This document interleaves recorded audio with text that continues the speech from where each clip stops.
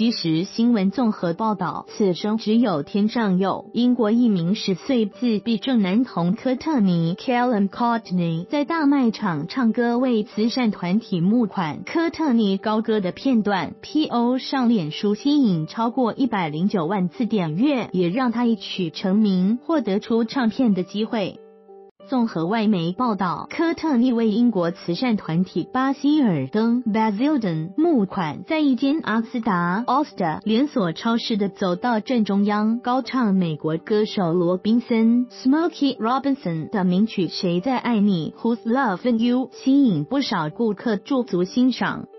科特尼妈妈特普尼 c h u p n i c o t n e y 将唱歌募资的画面拍下来，原先是为给无法到场支持的老公看，但科特尼阿姨罗斯 kj Rose） 将影片上传到脸书，让科特尼甜赖的嗓音爆红。影片不仅吸引网友疯传，目前超过一万两千次分享，一百零九万人次观看，也引起一个唱片制作人的注意，要帮他出一张公益单。